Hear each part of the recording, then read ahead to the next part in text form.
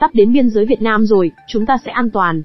Người đàn ông liên tục lặp lại câu nói đó để trấn an vợ con, bất chấp vết thương trên vai anh sải tay trèo. Quân phiến loạn truy sát sau lưng, bộ đội biên phòng Việt Nam thì yêu cầu họ không được xâm phạm lãnh thổ trái phép. Người đàn ông phó mặc số phận cho chiếc thuyền trôi, hai tay giơ lên trời mồm anh liên tục hét lớn xin đừng bắn. Đột nhiên những chiến sĩ biên phòng đổi hướng, nòng súng của họ hướng về nhóm người có vũ trang. Một giọng nói nghiêm nghị phát ra trên loa, chiếc thuyền này đang ở trong lãnh thổ Việt Nam, tất cả hãy hạ vũ khí, nếu nổ súng chúng tôi sẽ coi đó là hành động gây chiến. Nhóm quân phiến loạn nghe thấy vậy liền rút lui, gia đình nhỏ nhờ vậy mà bình an vô sự. Rốt cuộc người đàn ông và gia đình anh ấy đã trải qua những thảm kịch gì, thì mời mọi người đến với bộ phim không lối thoát hôm nay nha. Jack là kỹ sư đầu ngành tại Mỹ, anh được cử đến một đất nước gần Việt Nam công tác và phải mang theo cả gia đình.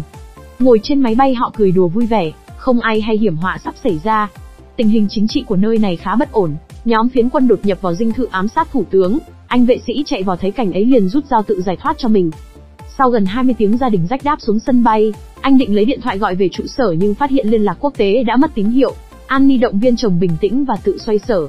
Rách tiến lại gần chỗ nhóm người đang đứng vẫy khách, thì bị một người đàn ông Anh quốc ngăn lại. Hammond giải thích chúng là người băng đảng giả danh, khách chỉ cần lên xe sau 30 phút sẽ hồn lìa khỏi xác, những giết người cướp của xảy ra như cơm bữa. Nói rồi Hammond dẫn gia đình rách tới cổng an ninh, trên đường đi họ trò chuyện làm quen, do tiện đường lên Hammond ngỏ ý mời gia đình rách lên xe của một người bạn. Đó là một người đàn ông bản địa tên Sam, anh ấy khá thân thiện vui tính. Băng qua con đường vắng vẻ Sam dừng chân tại khách sạn của Jack, nhìn bề ngoài nó khá đẹp nhưng bên trong không mấy đầy đủ tiện nghi. Busy nhõng nhẽo đòi bố cho đi bơi, Jack phản đối vì giờ đã muộn, anh với cái điều khiển bật tivi cho hai con xem, vậy nhưng chuyển các kênh đều không có tín hiệu. Jack nhắc điện thoại gọi cho lễ tân cũng không được, Annie chứng kiến những cảnh ấy thì lắc đầu ngao ngán, như thể cô vừa bị chuyển tới một thế giới thứ ba. Jack nói vài câu bông đùa chấn an vợ rồi trực tiếp xuống quầy lễ tân. Nhân viên thông báo cả thành phố gặp sự cố khiến anh có đôi chút lo lắng, nhưng rồi nhìn thấy Hammond đang quẩy tưng bừng Jack cũng tạm bỏ qua mọi chuyện, anh gọi chai bia ngồi nhâm nhi thưởng thức tiết mục. Kết thúc phần biểu diễn Hammond xuống ngồi cùng Jack, ông ấy đã nói vài điều mập mờ khó hiểu, rằng công ty nước sạch đã cho Jack ăn bánh vẽ.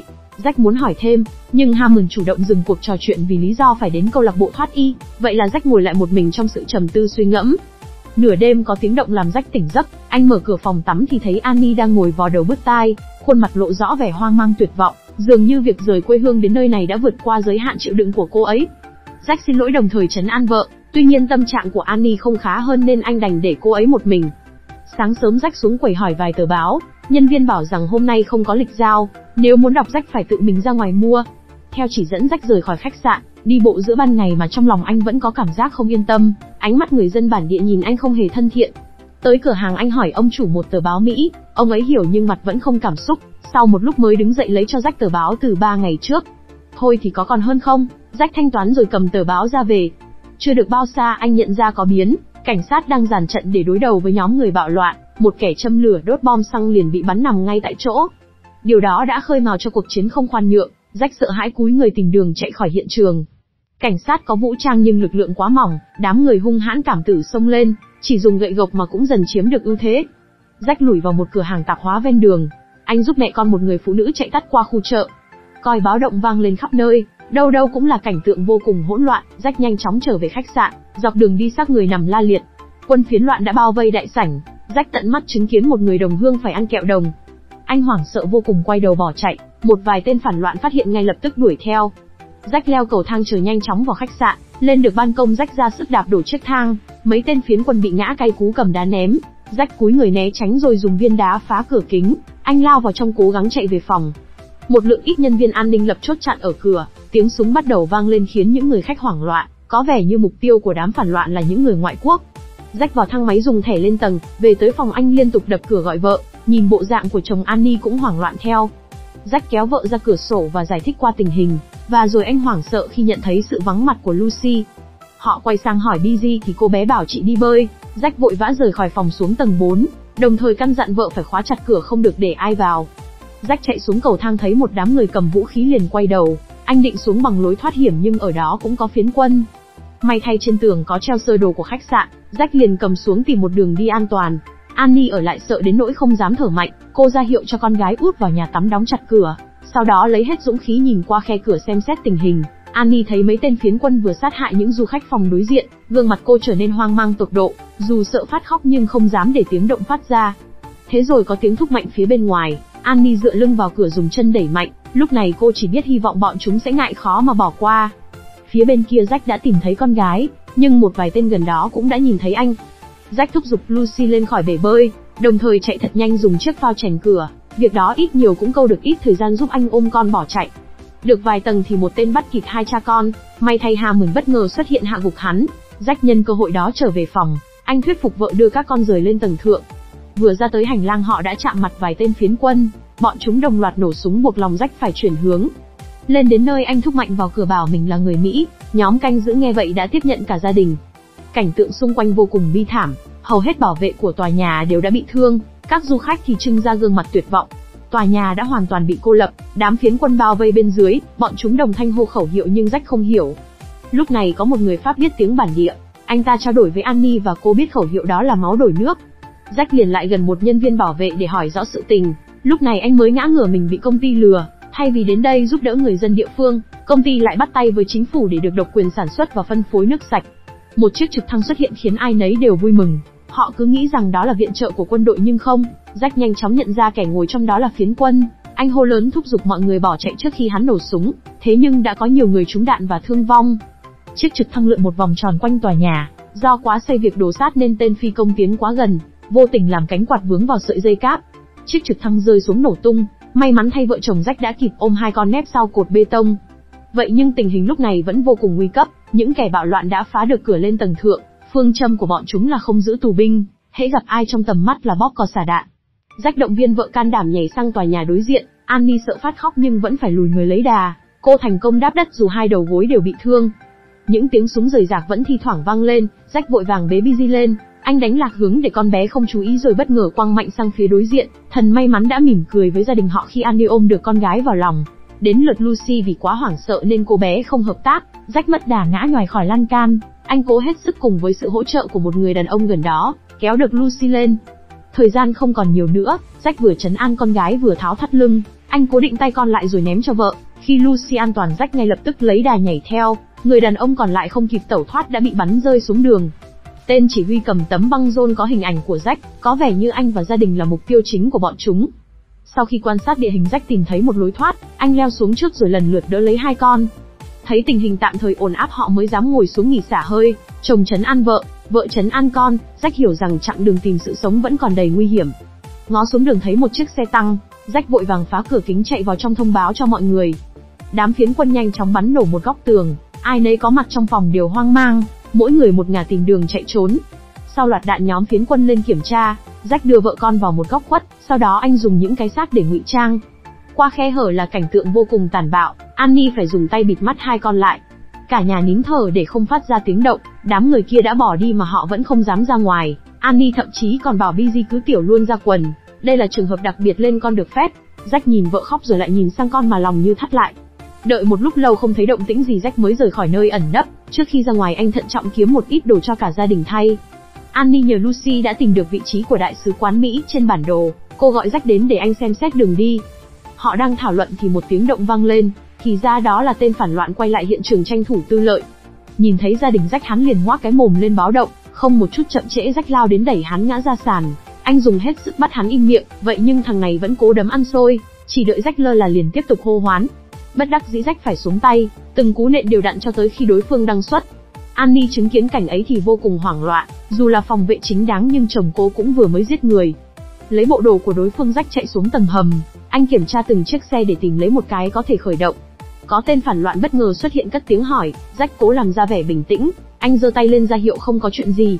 May thay kẻ địch thấy vậy bỏ đi, rách ngay lập tức khởi động xe và gọi vợ con xuống, Vega đá số anh rời khỏi tòa nhà. Đường phố hoang vắng chả có bóng người dân, cảnh tượng thì sơ xác hoang tan, thi thoảng lại có những thi thể nằm vương vãi. Gần đến nơi rách chạm mặt nhóm phiến quân, anh cố chấn tĩnh bảo vợ con cúi sát mặt xuống, sau đó cố dùng cái chân bị thương đẩy xe ngược dòng bọn chúng. Dù có trục trặc nhỏ nhưng gia đình họ đã đến trụ sở của đại sứ quán an toàn. Với giác quan nhạy bén của mình Annie nhận ra nơi này rất kỳ lạ, rách nghe lời vợ trèo vào thám thính trước. Quả nhiên nơi này vừa xảy ra cuộc hỗn chiến, bằng chứng là xác người nằm la liệt khắp con đường.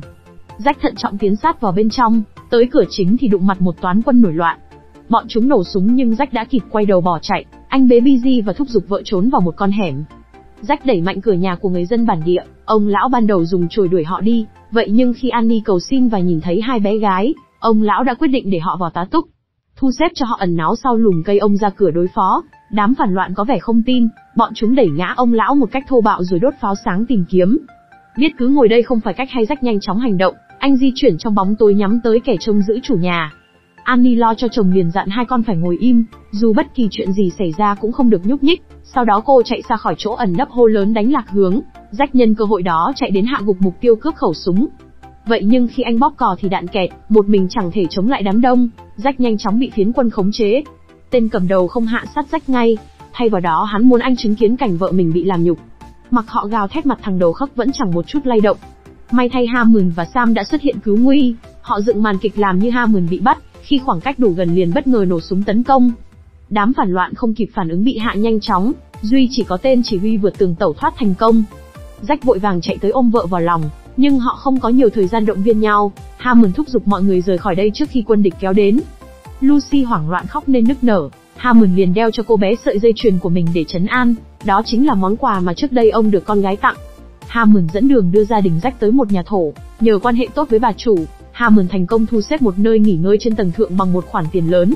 Nhân lúc đám trẻ ngồi ăn Hammond gọi hai vợ chồng rách ra nói chuyện riêng, ông chỉ cho họ xuôi theo con sông trước mặt khoảng 3 km để đến biên giới Việt Nam, nếu thành công tất cả cơn ác mộng này sẽ chấm dứt. Annie nói lời cảm ơn rồi trở về chỗ hai con, Hammond lúc này mới tiết lộ cho Jack biết thân phận thật sự của mình. Nếu ở Mỹ thì anh ấy thuộc tổ chức giống như CIA. Hammond đến đây thay mặt các tập đoàn lớn, đề nghị cho chính phủ vay những khoản tiền dù biết họ không thể hoàn trả, mục đích là để sở hữu đất nước này. Hammond biết nhiệm vụ của mình chẳng mấy hay ho, những kẻ bạo loạn thật ra chỉ đang cố nổi dậy bảo vệ tự do cho con cháu. Giờ thì Jack đã hiểu mọi chuyện, anh đảo mắt và nhìn thấy con chó đang quay, đó là thứ mà Hammond bảo với gia đình anh là thịt gà bản xứ. Vậy nhưng lúc này đâu còn phân biết tốt xấu đúng sai, chuyện cấp bách là họ phải tự cứu bản thân và gia đình. Hammond dục rách đi ngủ lấy sức để 4 tiếng nữa lên đường. Dù đã khá mệt mỏi nhưng không ai có thể chợp mắt. Annie bật khóc khi nghĩ đến viễn cảnh cả gia đình bỏ mạng, rách liền hôn vợ trấn an, anh hứa sẽ đưa ba mẹ con về nước an toàn. Nửa đêm cả nhóm bất ngờ bị tập kích, Hammond và Sam vừa bắn trà vừa hỗ trợ gia đình rách rút lui. Quân số tranh lệch Sam đã bị hạ sau đó, bản thân Hammond cũng bị thương rất nặng, tay ôm vết thương đôi chân ông loạn choạng rồi quỵ xuống đường. Rách vội vàng quay trở lại nhưng không thể làm gì hơn. Hammond bảo Rách hãy cố gắng tới biên giới Việt Nam rồi bất tỉnh.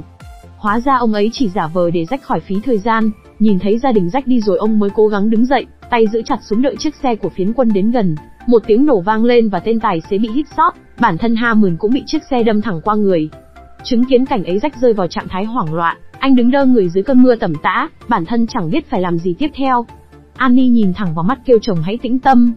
Cô nhấn mạnh việc qua sông để tới biên giới, Rách chấn tĩnh bế con lên tiếp tục chạy tiếp, họ men theo một con hẻm tìm đến dòng sông. Rách phát hiện có kẻ đang tới gần, anh cầm hòn đá lên mà đầu óc vô cùng căng thẳng, may sao hai đứa kia mải chém gió cứ thế đi ngang qua. Rời khỏi con hẻm Rách bảo ba mẹ con trốn tạm dưới gầm cầu, còn bản thân sẽ đi tìm một chiếc thuyền vượt sông. Tới bến đậu anh bị một ông lão bắt gặp, Rách liền tháo chiếc đồng hồ và đôi giày trao đổi.